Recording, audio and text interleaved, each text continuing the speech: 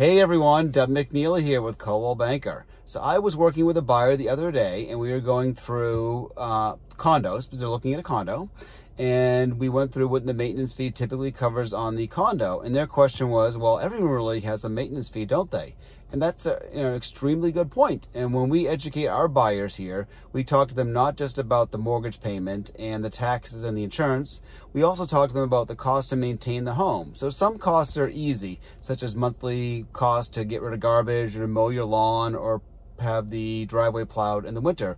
But there are also ongoing costs that aren't quite as frequent, such as redoing your roof or your heating system or the patio or the driveway. So those are things most homeowners might see once in the 20 or 30 years they own a home.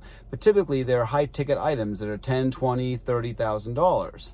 So when you have a condo, you're paying per that per month, and the condo association puts a little money away each month so they can cover those big expenses as a collective whole when they arise. So homeowners need to be doing that too. So I think as buyer's agents, we need to do a much better job of educating our buyers about the true cost of home ownership and that they still probably need to be putting away several hundred extra dollars a month to cover these tickets, big ticket items as they come up, even if it's 5, 10, 20 years later. So hopefully this helps. If you want to find out more, visit our blog at metrowestbest.com.